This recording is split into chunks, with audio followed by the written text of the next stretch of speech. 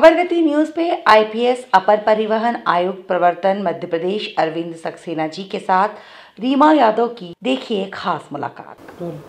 इस वक्त हमारे साथ ग्वालियर के अपर डिप्टी कमिश्नर हमारे साथ हैं। आइए जानते हैं रोहन सक्सेना जी से कि परिवहन विभाग में किस प्रकार से चेक पोस्ट जो है, उन पर क्या शर्तें और क्या नियम लागू है। जी बताएँ सर।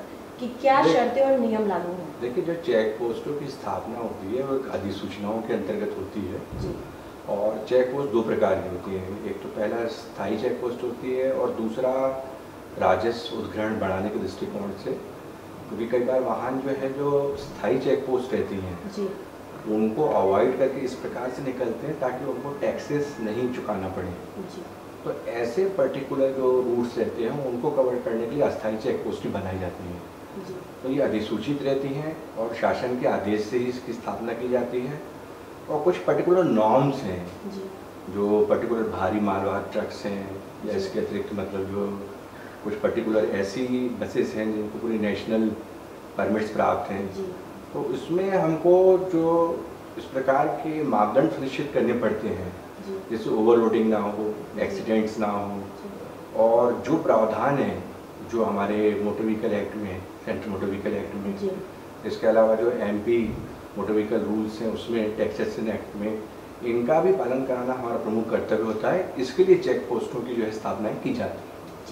जैसे कि चेक पोस्ट पर अभी आपने बताया कि कुछ नियम लागू किए गए हैं तो मैं ये जानना चाहूँगी जो वाहन जाते हैं तो उस पर कितने शुल्क का चालान कटता है? देखिए आपने यदि सेंट्रल मोटर व्हीकल एक्ट का अध्ययन किया हुआ है टैक्सेशन एक्ट का।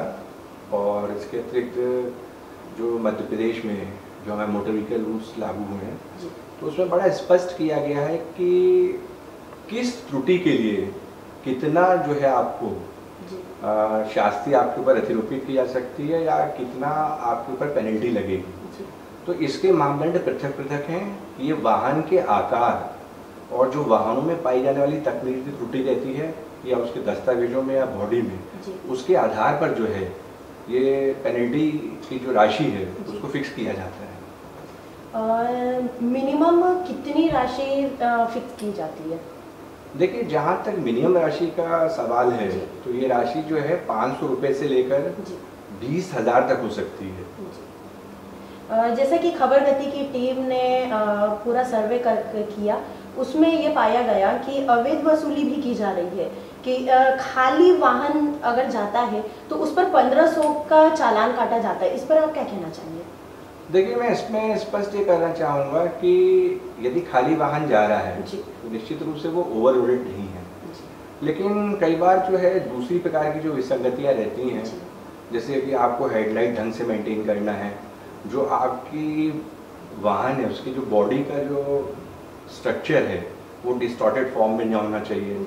जो। बैक लाइट्स हैं और जो फ्रंट लाइट्स हैं इनका जो है पर्टिकुलर एक वो रहता है आकार रहता है स्थान रहता है। इसके अतिरिक्त जो रजिस्ट्रेशन नंबर प्लेट्स रहती हैं उसका एक निश्चित स्थान रहता है और उसमें जो अंक रहते हैं शब्द रहते हैं उसका आकार रहता है। तो कई बार ये स्थितियाँ निर्मित होती हैं कि वाहन के जो चालक रहते हैं उनको ये रहता है कि साहब हमारा वाहन खाली है।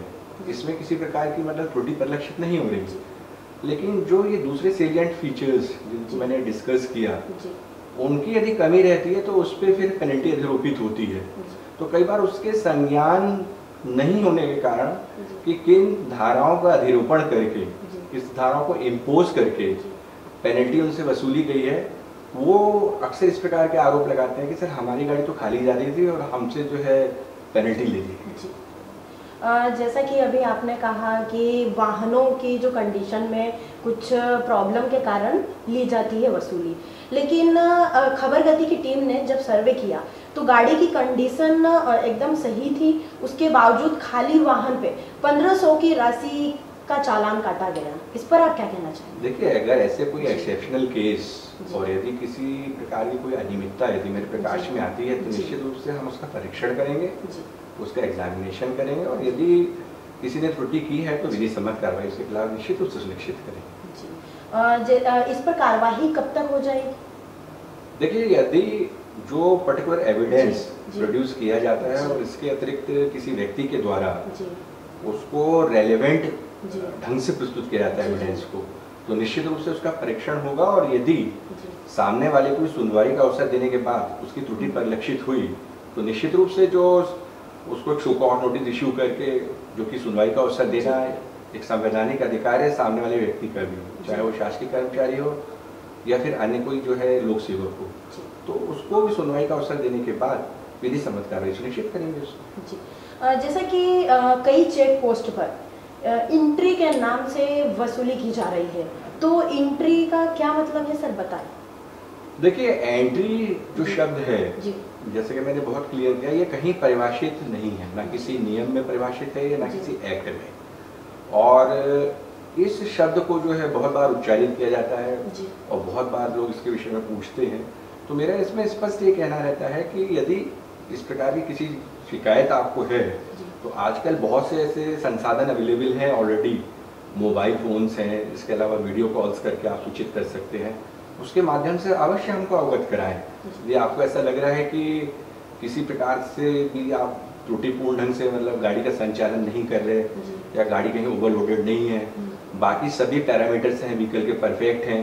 तो निश्चित रूप से बहुत से कई बार अवसर ऐसे आए जब ऐसी डिबेटेबल स्थितियाँ बनी।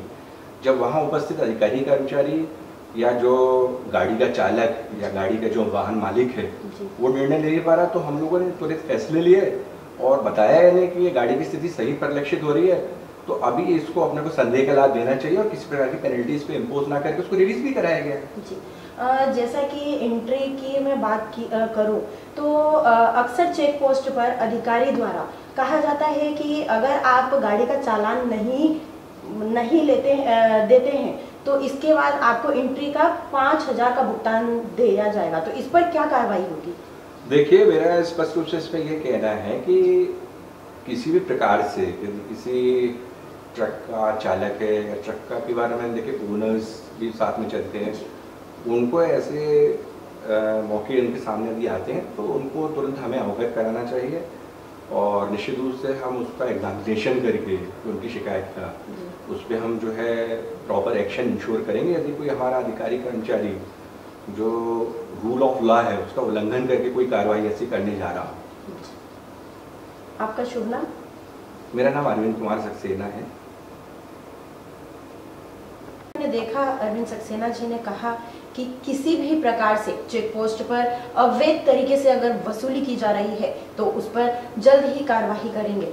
मामला इनके संज्ञान में देने के बाद इस पर जल्द ही कार्रवाई होगी। कैमरा पर्सन आनंद सोनी के साथ मैं रिमा यादव, खबर गति न्यूज़ इंदौर। लगातार खबरों के लिए बेल आइकन दबाइए। हमारे साथ जुड़े रहने के लिए खबरगति न्यूज़ को सब्सक्राइब कीजिए। You can also follow us on Facebook You can also follow us on Twitter and you can also follow us on Instagram.